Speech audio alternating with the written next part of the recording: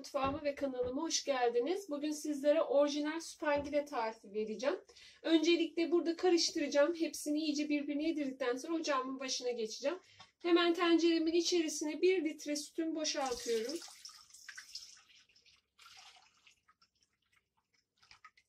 İki adet yumurta sarısı. 2 yemek kaşığı tepeleme dolusu un. 2 yemek kaşığı tepeleme nişasta. Mısır ya da buğday nişastası fark etmez. 3 yemek kaşığı dolusu kakao. Kakaonun bazı markalarına göre değişebilir. Onu artık kendiniz bakarsınız duruma göre. 1 su bardağı toz şeker.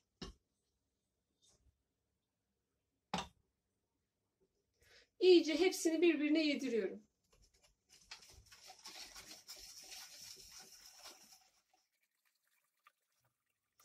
Evet ocağın başına geçtim. Hemen altını yakıyorum. Karıştıra karıştıra iyice kaynatacağım. Kaynamaya başladığında bir yemek kaşığı tereyağı ekleyeceğim.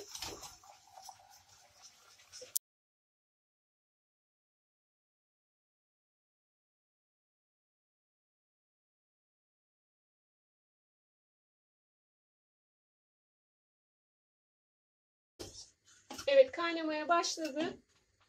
Hemen içerisine bir yemek kaşığı tereyağı ekliyorum.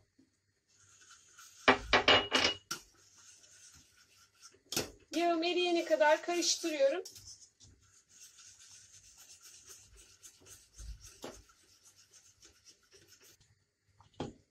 Evet gördüğünüz gibi göz göz kaynamaya başladıktan sonra 2 dakika daha kaynatacağım. Ondan sonra altını kapatacağım. O esnada yine karıştırmaya devam ediyoruz. Altını kapatıyorum. Gördüğünüz gibi kıvamını şöyle göstereyim. Hemen altını kapattıktan sonra 80 gram bitter çikolata ekliyorum. Sıcağıyla eritiyorum karıştıra karıştıra.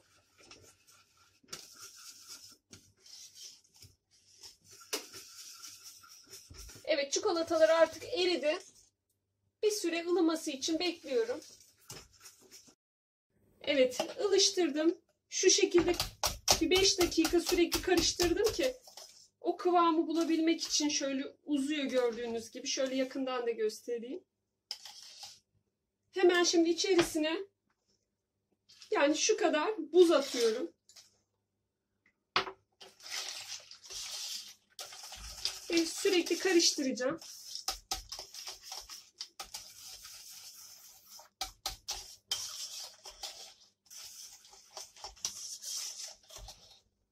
Benim yaptığım ortalama yani bir çay bardağı buz diyebilirim. Bir dakika boyunca bu şekilde karıştırın.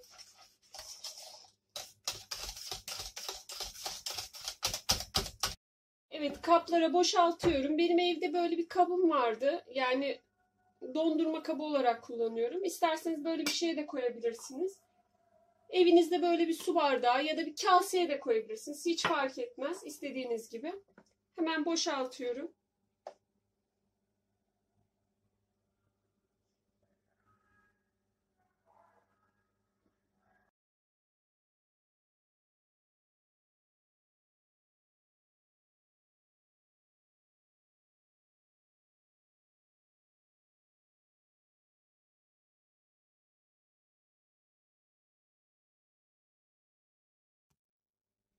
İstediğiniz gibi süsleyebilirsiniz. İsterseniz hiç süslemeyin. Ama ben birazcık güzel görünmesi için süsleyeceğim.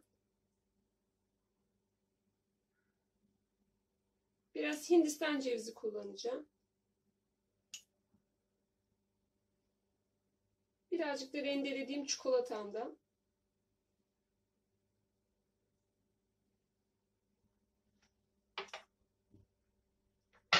Birazcık da buzlukta vişnelerim vardı.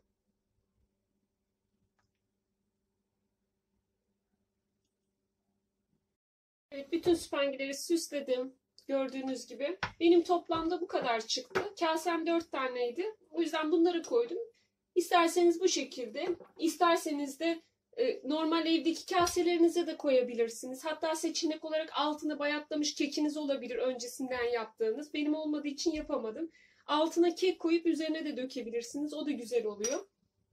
Hemen şöyle göstermek istiyorum kıvamını. Gerçekten koyuluğu çok güzel.